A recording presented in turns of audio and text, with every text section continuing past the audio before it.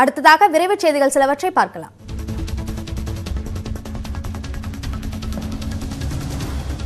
தமிழகத்தில் சட்டமன்ற தேர்தலை முன்கூட்டியே நடத்த வாய்ப்பு குறைவு என தமிழக தலைமை தேர்தல் அதிகாரி சத்யபிரதா சாஹூ தெரிவித்துள்ளார். கொரோனா அச்சுறுத்தல் காரணமாக ஆயிரம் வாக்காளர்களுக்கு ஒரு வாக்குச்சாவடி அமைக்கப்பட உள்ளதாக கூறியுள்ள அவர் அதனால் வாக்குச்சாவடிகளின் எண்ணிக்கையை அறுபத்தி ஏழாயிரத்திலிருந்து தொன்னூற்றி ஐந்தாயிரமாக அதிகரிக்க திட்டமிட்டுள்ளதாக கூறியுள்ளார்.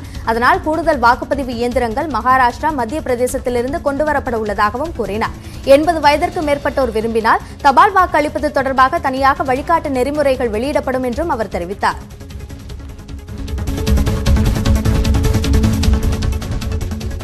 பிரிட்டனில் தென்பட்ட புதிய வகை கொரோனா இதுவரை இந்தியாவில் இருபத்தி ஐந்து பேருக்கு உறுதி செய்யப்பட்டுள்ளது. முதலில் ஆறு பேருக்கு காணப்பட்ட இந்த தொற்று சில நாட்களில் இருபதாக அதிகரித்தது. பிரிட்டன் மற்றும் ஐரோப்பிய நாடுகளில் இருந்து நாடு திரும்பிய சிலரின் மாதிரிகள் சோதனைக்கு புனேவுக்கும் டெல்லிக்கும் அனுப்பி வைக்கப்பட்டன. இதில் டெல்லி ஆய்வகத்தின் பரிசோதனையில் ஒருவருக்கும் புனேவில் நான்கு பேருக்கும் உருமாறிய கொரோனா உறுதியாகியுள்ளது. பிரிட்டனில் காணப்படும் உருமாறிய வீரியமிக்க கொரோனா வைரஸ் எழுபது விழுக்காடு கூடுதல் வேகத்துடன் பரவுகிறது. வெளிநாடுகளிலிருந்து இந்தியா வருவோரை விமான நிலையங்களில் வீடுகளிலேயே பரிசோதித்து தனிமைப்படுத்தும் நடவடிக்கைகள் நடைபெற்று வருகின்றன. மேட்டுப்பாளையம் உதகை இடையேயான மலை ரயில் சேவை ஒன்பது மாதங்களுக்கு பிறகு மீண்டும் தொடங்கியுள்ளது. கொரோனா ஊரடங்கு காரணமாக கடந்த மார்ச் மாதம் முதல் உதகை மலை ரயில் சேவை நிறுத்தப்பட்டது. ஊரடங்கில் இருந்து படிப்படியாக விலக்களிக்கப்பட்டாலும் உதகை மலை ரயில் சேவை இயக்கப்படாமல் இருந்து வந்தது. மேலும் இந்த பாதையில் அண்மையில் தனியார் நிறுவனம் ஒன்று வார இறுதி நாட்களில் அதிக கட்டணத்தில் மலை ரயில் சேவை இயக்கி வந்தது. இதற்கு பொதுமக்கள் பல்வேறு அரசியல் கட்சிகள் கடும் எதிர்ப்பு தெரிவித்ததால் இத்திட்டத்தை ரயில்வே நிர்வாகம் கைவிட்டது. மேலும் வரும் முப்பத்தி ஒன்றாம் தேதி முதல் வழக்கமான கட்டணத்துடன் பாரம்பரிய மலை ரயில் இயக்கப்படும் என்றும் அறிவிக்கப்பட்டது. இதனையடுத்து இன்று காலை மேட்டுப்பாளையம் ரயில் நிலையத்திலிருந்து உதகைக்கு மலை ரயில் இயக்கப்பட்டது. நீண்ட இடைவெளிக்கு பின்னர் இயக்கப்பட்டதால் மலை ரயிலில் ஏராளமான சுற்றுலா பயணிகள் பயணம் செய்தனர். ஆங்கில புத்தாண்டு தினத்தை முன்னிட்டு திண்டுக்கல்லில் மல்லிகை பூவின் விலை நான்காயிரம் ரூபாயாக உயர்ந்திருக்கிறது. தொடர் மழை கடும் பனிப்பொழிவு காரணமாக திண்டுக்கல் அண்ணா வணிக வளாகத்தில் செயல்படும் பூ மார்க்கெட்டிற்கு கடந்த சில நாட்களாக பூக்களின் வரத்து குறைந்துள்ளது. இதனால் அங்கு பூக்களின் விலை ஏறுமுகமாகவே இருந்து வருகிறது. மேலும் நாளை ஆங்கில வருட பிறப்பு என்பதால் பூக்களின் தேவை அதிகரித்துள்ளது. இதனால் கடந்த பத்து நாட்களுக்கு முன்பு கிலோ ஐநூறு ரூபாய்க்கு விற்பனையான மல்லிகைப்பூ தற்போது நான்காயிரம் ரூபாய்க்கு விற்பனை செய்யப்படுகிறது. இதேபோல் கிலோ முன்னூறு ரூபாய்க்கு விற்பனை செய்யப்பட்ட முல்லைப்பூ தற்போது ஆயிரத்தி எழுநூறு ரூபாய்க்கு விற்பனை செய்யப்படுகிறது. தென்காசி மாவட்டம் குற்றாலம் மெயின் அருவியில் திடீரென காட்டாற்று வெள்ளம் ஏற்பட்டுள்ளதால் அருவியில் குளிக்க சுற்றுலா பயணிகளுக்கு தடை விதிக்கப்பட்டுள்ளது. தென்காசி மாவட்டத்தில் உள்ள மேற்கு தொடர்ச்சி மலைப்பகுதிகளில் நேற்று இரவு முதல் கனமழை பெய்து வருகிறது. இதன் காரணமாக குற்றாலத்தில் உள்ள பிரதான அருவியான மெயின் அருவியில் காட்டாற்று வெள்ளம் ஏற்பட்டுள்ளது. பாதுகாப்பு வளையத்தை தாண்டி தண்ணீர் ஆர்ப்பரித்து கொட்டுவதால் பாதுகாப்பு கருதி அருவியில் குளிக்க சுற்றுலா பயணிகளுக்கு தடை விதிக்கப்பட்டுள்ளது. இருப்பினும் புலியருவி ஐந்தருவி பழைய குற்றால அருவிகளில் தண்ணீர் வரத்து சீராக உள்ளதால் சுற்றுலா பயணிகள் அங்கு குளித்து மகிழ்கின்றனர். தேசிய நெடுஞ்சாலையில் உள்ள சுங்கச்சாவடிகளில் நூறு சதவீதம் ஃபாஸ்டாக் மூலமாக கட்டணம் செலுத்தும் முறை பிப்ரவரி பதினைந்தாம் தேதிக்கு ஒத்திவைக்கப்பட்டுள்ளதாக மத்திய அரசு அறிவித்துள்ளது. சுங்கச்சாவடிகளில் வாகனங்கள் நீண்ட வரிசையில் நிற்பதை தவிர்க்கும் விதமாக ஃபாஸ்டாக் மூலமாக கட்டணம் செலுத்தும் முறை அறிமுகப்படுத்தப்பட்டது. நாளை முதல் சுங்கச்சாவடிகளில் நூறு சதவீதம் ஃபாஸ்டாக் மூலம் மட்டுமே கட்டணம் பெறப்படும் என்றும் பணமாக செலுத்துபவர்களுக்கு இரு மடங்கு கட்டணம் வசூலிக்கப்படும் என்றும் அறிவிக்கப்பட்டிருந்தது. இந்நிலையில் முழுமையாக ஃபாஸ்டாக் மூலமாக மட்டும் கட்டணம் பெறும் முறை பிப்ரவரி பதினைந்தாம் தேதிக்கு ஒத்திவைக்கப்பட்டுள்ளது. அசாம் மாநிலம் கவுஹாத்தியில் சிறுத்தையை பிடிக்க சென்ற வனத்துறையினர் நான்கு பேரை சிறுத்தை கடுமையாக தாக்கியது. அஹாம்கோன் என்ற இடத்தில் டெல்லி பப்ளிக் பள்ளி வளாகத்தில் சிறுத்தை புகுந்ததாக வனத்துறையினருக்கு தகவல் கிடைத்தது. சிறுத்தையை தேடி வனத்துறையினர் சென்றபோது மறைந்திருந்த சிறுத்தை வனத்துறையினர் மீது தாவி பிடித்து தாக்கியது. இதில் நால்வர் படுகாயமடைந்தனர்.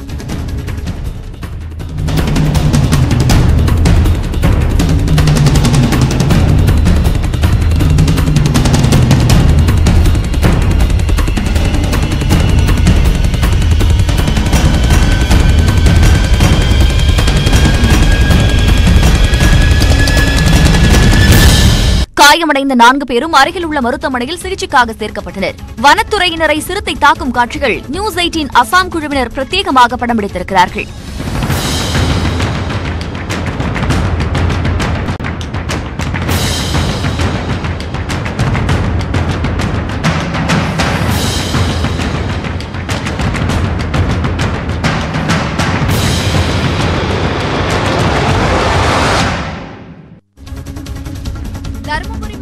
தொப்பூர் அருகே நிகழ்ந்த சாலை விபத்தில் பதிமூன்று மாடுகள் உயிரிழந்தன.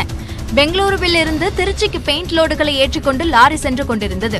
தருமபுரி அடுத்த தொப்பூர் அருகே வந்தபோது லாரியில் திடீரென பிரேக் பிடிக்கவில்லை என கூறப்படுகிறது. இதனால் மாடுகளை ஏற்றிக்கொண்டு முன்னால் சென்று கொண்டிருந்த லாரி மீது மோதியுள்ளது இதில் மாடுகள் இருந்த லாரி சாலையோரத்தில் உள்ள வீடுகளை இடித்து உள்ளே புகுந்தது. இதில் வீட்டில் தூங்கிக் கொண்டிருந்த இரண்டு குழந்தைகள் உட்பட ஆறு பேர் காயமடைந்தனர். மேலும் விபத்தில் பதிமூன்று எருமை மாடுகள் உயிரிழந்தன. தகவல் அறிந்து வந்த போலீசார் விபத்துக்குள்ளான லாரியை அங்கிருந்து அப்புறப்படுத்தினர். சிதம்பரத்தில் முதியவரை தாக்கிய விவகாரத்தில் நடராஜர் கோவில் தீட்சிதர்கள் நால்வர் மீது வழக்கு பதியப்பட்டுள்ளது. கடந்த இருபத்தொன்பதாம் தேதி ஆருத்ர தரிசன தேரோட்டம் முடிந்த பிறகு நடராஜர் உள்ளிட்ட சுவாமிகள் ஆயிரங்கால் மண்டபத்திற்கு கொண்டு செல்லப்பட்டனர். அப்போது கீழ சன்னதியில் கடை வைத்து நடத்தும் பாலசுப்பிரமணியன் என்பவர் சுவாமிக்கு தீபாராதனை காட்டிவிட்டு சாமியின் மேல் பூக்களை தூவியுள்ளார். இதற்கு எதிர்ப்பு தெரிவித்து சாமியுடன் சென்ற தீட்சிதர்கள் சோமசுந்தர முத்து உள்ளிட்ட நால்வர் பாலசுப்பிரமணியனை தாக்கினர். பின்னர் இவர்கள் மீது நடவடிக்கை எடுக்க வலியுறுத்தி பாலசுப்ரமணியம் உண்ணாவிரதம் இருந்தார். இதையடுத்து அவரிடம் புகார் பெற்ற சிதம்பரம் நகர காவல்துறையினர் தீட்சிதர்கள் நால்வர் மீது வழக்கு பதிந்து தேடி வருகிறார்கள். எப்போதுமே சாமி போகும்போதும் வரும்போதும் தேருக்கு போகும்போதும் வரும்போதும் தீபாராதனை செய்து மலர் தூவுவது வழக்கம். அதேமாதிரி இந்த ம- இந்த தடவை வந்து சாமி தேர்லேருந்து இறங்கி கோயிலுக்கு செல்லும்போது தீபாராதனை காமி மலர் தூவினேன். ஆனால் தீட்சிதர்கள் வந்து எனக்கு பாதுகாப்பு இருந்த காவலர்களையும் தள்ளிட்டு உள்ளார் வந்து எங்களை த கி- தீபாரண தட்டி விட்டு எங்களை வந்து க சட்டையை பிடித்து தள்ளி நெஞ்சில் குத்துனாங்க. சீனாவில் கடல் புறாக்களுக்கு சுற்றுலா பயணிகள் தங்கள் வாயால் உணவளித்து மகிழும் காட்சிகள் சமூக வலைதளத்தில் பரவி வருகின்றன. சீனாவின் யுன்னான் பகுதிக்கு சுற்றுலா வரும் பயணிகள் அங்கு அதிக அளவில் காணப்படும் கடல் புறாக்களுக்கு உணவளிக்க விரும்புகின்றனர். இதற்காக தங்கள் வாயில் பிரெட்டை கவ்விக்கொண்டு கடல் புறாக்களின் வருகைக்காக காத்திருக்கின்றனர். சில நொடியில் பறந்து வரும் கடல் புறாக்கள் அவர்களது வாயில் இருக்கும் பிரெட்டை கொத்திக் கொண்டு பறந்து செல்கின்றன. இந்த வீடியோக்கள் சமூக வலைதளங்களில் பரவிய நிலையில் இது குறித்து கருத்து தெரிவித்துள்ள வல்லுநர்கள் கடல் புறாக்களை சற்று தொலைவிலிருந்து மட்டுமே அணுக வேண்டும் என்று கேட்டுக் கொண்டுள்ளனர் தவறுதலாக அவை மனிதர்களை கொத்திவிட்டால் தொற்று ஏற்படும் என்றும் அவர்கள் எச்சரித்துள்ளனர்.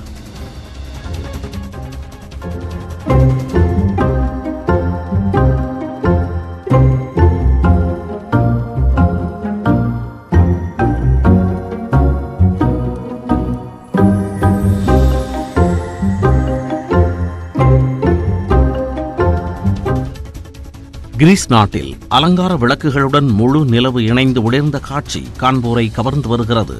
டிசம்பர் மாதத்தில் வரும் பௌர்ணமி குளிர் நிலவு என்று அழைக்கப்படுகிறது. கிரீஸ் நாட்டின் கடலோர நகரமான ரஃபினாவில் குளிர் நிலவு தோன்றிய ரம்மியமான காட்சியை அங்குள்ள பல்வேறு பகுதிகளில் இருந்து படம் பிடித்துள்ளனர். கடல் அலையின் மேலே ஒளிரும் நிலவு காற்றாலை இயந்திரங்களின் பின்னணியில் பிரமிக்க வைக்கும் நிலவு அலங்கார விளக்குகளோடு இணைந்து அழகாக ஒளிரும் நிலவு என பல்வேறு கோணங்களில் படம் பிடிக்கப்பட்ட காட்சிகள் கான்பூரை கவர்ந்து வருகின்றன.